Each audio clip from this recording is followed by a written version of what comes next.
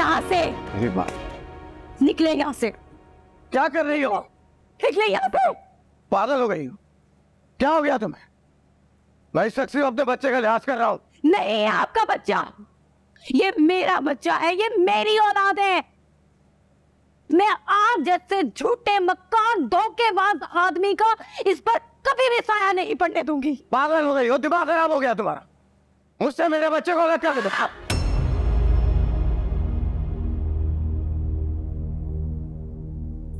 सारी ज़िंदगी में आपको इसकी शक्ल तक नहीं देखने दूँगी।